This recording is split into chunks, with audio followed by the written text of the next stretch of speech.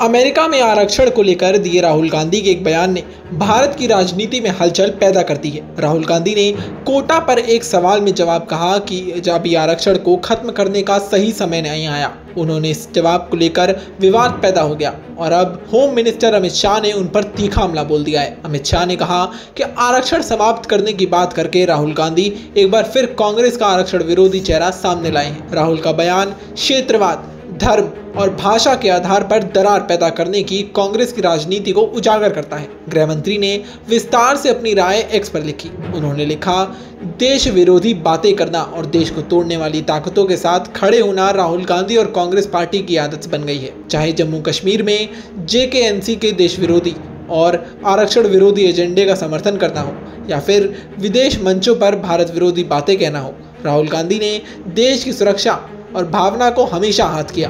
भाषा से भाषा, क्षेत्र से क्षेत्र और धर्म से धर्म में भेदभाव लाने की बात करना राहुल गांधी की विभाजनकारी सोच को दर्शाता है।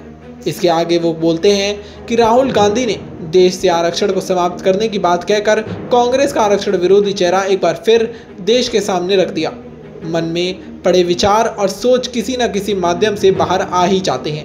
मैं राहुल गांधी को बताना चाहता हूँ कि जब तक भाजपा है आरक्षण को कोई छू भी नहीं सकता और देश की एकता के साथ खिलवाड़ नहीं होगा। अमित शाह ने कहा कि चाहे जम्मू कश्मीर में नेशनल कॉन्फ्रेंस के राष्ट्र विरोधी एजेंडे का समर्थन करना हो, या फिर इसकी बात हो, या विदेश में भारत विरोधी टिप्पणी करना, राहुल ने देश की सुरक्षा को खतरे में डाला है।